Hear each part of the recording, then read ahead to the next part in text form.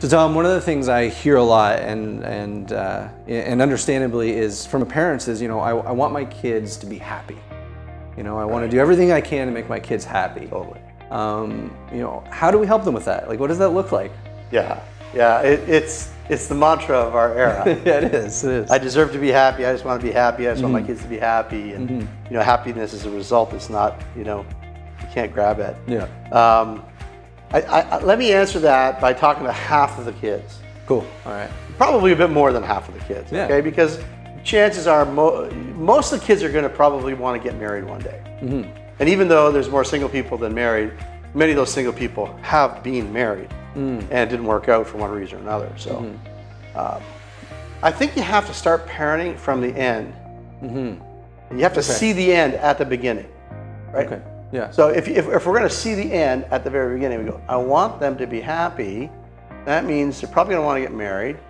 Yeah. We can talk about raising single kids another time, but Yeah. these are going to be the same. Yeah.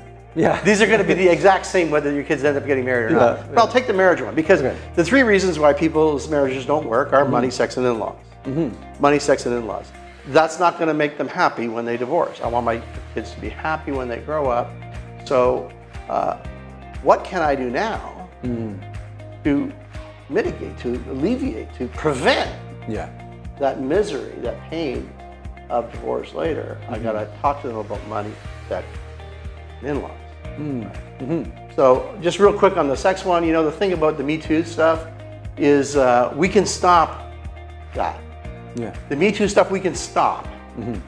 I don't think we have the, the, the secular world doesn't have the desire to stop it because of what it takes to get there. Mm-hmm. Yeah. But if you want to stop it, you know, if you stay a virgin till you get married, you won't be messing with anybody Yeah. beforehand. Yeah. That is not an impossibility in this day and age. I know everybody thinks it is. But Jesus said, set the bar high. Mm-hmm. Grace for when you don't make it, but set the bar high. There's all kinds of practical things you can do to help your kids Mm-hmm. stay virgins until they get married, right? If when you're married, you have that foundation, you can have amazing sex, you're going to mitigate the Me Too business, right? Mm-hmm. Um, when, when, when you teach ki- people, kids, to deal with their temptations, sexual or otherwise, with the power of the Holy Spirit in biblical ways, Yeah. you're going to have a whole lot more freedom, right? And if, if, if someone has molested me from the past, right, and, and I can find healing in Christ, I'll, you know, abusers turn out to be abusers. We can mitigate all that stuff. Now, you know, the secular world might not appre- appreciate that approach to eliminating the Me Too issue, but from a Christian perspective, we can raise children to have an amazingly godly foundation mm-hmm. for their marriage by calling them to and, and, and assisting them with the community, with their, with their youth group, mm-hmm. to sexual purity. Mm-hmm.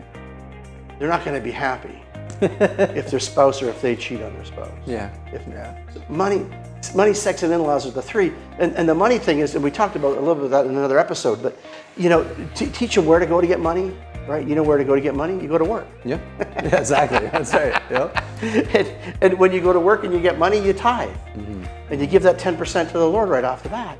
And then with the rest, you can you have savings and you have spending. And the earlier we teach our children about money, uh, they're gonna. Uh, and as they hear these magic words in our home, the, the, the best words any parent can ever give their, their children about money is, "We can't afford it." Hmm. Mm-hmm. Those are great words, especially for pastors, because usually we can't afford it. That's right. Yeah. It's, yeah. You can easily say it. Yeah. But we, we as parents and especially as dads feel like failures when we say we can't afford it. Yeah.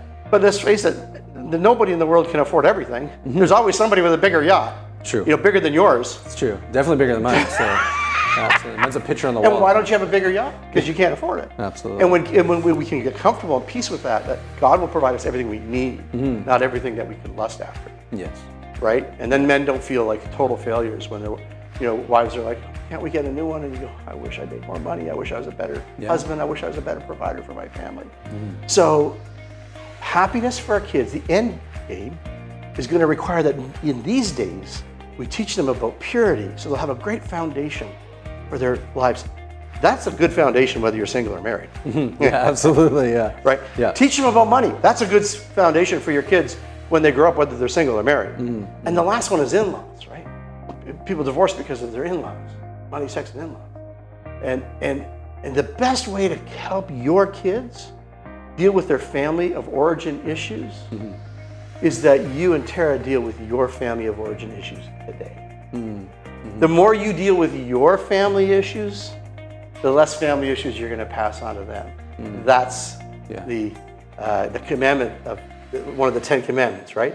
That the sins of the fathers are passed on to the next generation. So let's deal with those things. You know, Yeah. uh, get involved in your church. Get involved in your youth, in, in your in your uh, small group. If, if you're part of New Hope Church, get involved in our 911 plan, which helps sort of deal with a lot of the family of origin stuff. Because as I get that stuff sorted out with God's help, I'm not going to pass it on to my kids. Yeah.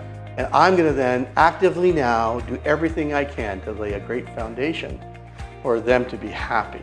Mm. It's a lot more work than taking them to the movies and buying them popcorn, yes. It is. but it'll last the rest of their lives, mm. and they'll bless you for it. If you enjoyed this video, be sure to check out the rest of our segments on parenting over on our channel. For the full parenting seminar, click the link in the description.